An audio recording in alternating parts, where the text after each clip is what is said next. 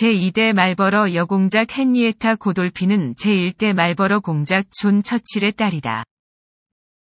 앤 여왕의 친구이자 측근이었다.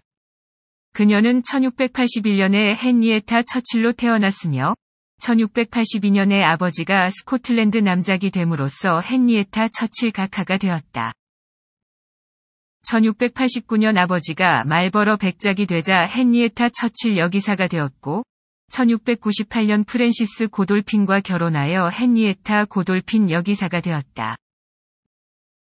1706년 시아버지가 고돌핀 백작이 되자 리얼튼 자작 부인이 되었으며 1712년 남편이 제2대 고돌핀 백작을 승계하자 고돌핀 여백작이 되었다.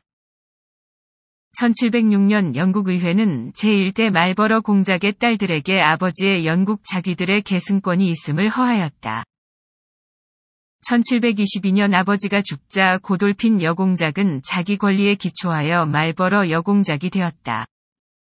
그녀는 1733년에 미들섹스 헤로우에서 사망했다. 향년 52세, 유해는 같은 해 11월 9일에 웨스트민스터에 묻혔다. 그녀의 작위는 조카 제5대 선덜랜드 백작 찰스가 승계했다. 시청해주셔서 감사합니다.